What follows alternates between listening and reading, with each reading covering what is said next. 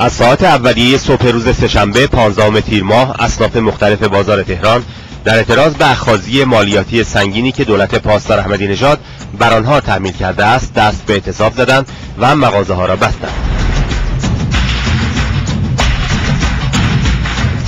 اعتصاب ابتدا از بازار اصلی تهران شروع شد و به سرعت به تمام بازارها و تیمچاه کشیده شد.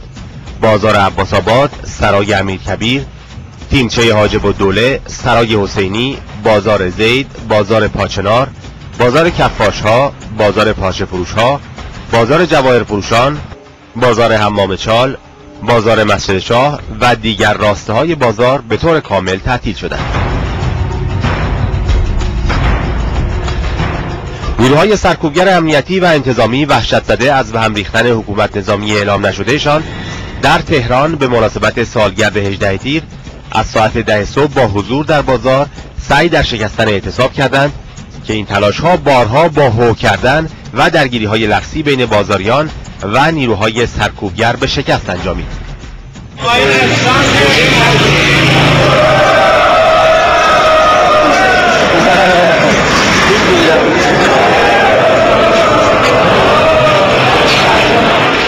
مردمی که برای خرید یا انجام کارهایشان به بازار رفته بودند نیز به همبستگی با بازاریان پرداختند و باربرها، چرخیها و کارگران ساده بازار هم به این اعتصاب پیوستند.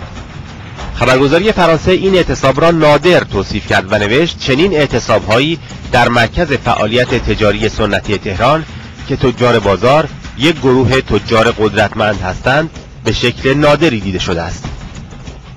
مهمترین دلیل اعتصاب بازاریان افزایش مالیات و سیاست های اقتصادی و مالی دولت پاسدار احمدی نژاد می باشد که خشم بازاریان را برانگیخته است. خبرگزاری حکومتی ایسنا به از محمد تهانپور رئیس اتحادیه کشوری لوازم خانگی نوشت تعطیلی امروز بازار تهران به دلیل اعتراض به عملکرد سازمان امور مالیاتی و عدم توافق با اصناف اتفاق افتاده. و به جرأت اعلام می‌کنم اگر مسئولان هر چه سریعتر چاره ای نیندیشند وضع بازار بدتر از این خواهد شد. وی به افزایش 200 تا 300 درصدی مالیات ها اشاره کرد و گفت وقتی ظرفیت تولید کشور تنها 20 درصد است چه دلیلی دارد که مالیات دو میلیون تومانی به 7 میلیون تومان و مالیات 25 میلیون تومانی به 60 میلیون تومان افزایش یابد؟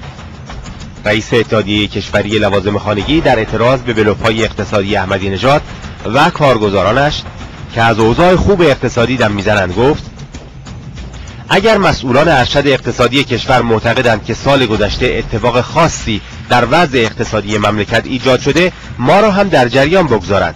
چرا که وقتی چهار هزار میلیارد تومان چک برگشتی تیتر یک روزنامه می شود دیگر نمی‌توان رکود اقتصادی را نادیده گرفت. یادآوری می‌کنیم که در مهر ماه 87 نیز بازاریان در اعتراض به افزایش مالیات ها اعتصاب کردند که این اعتصاب به سرعت در سایر شهرهای ایران گسترش یافت و دولت پاسدار احمدی نژاد مجبور به عقب نشینی شد.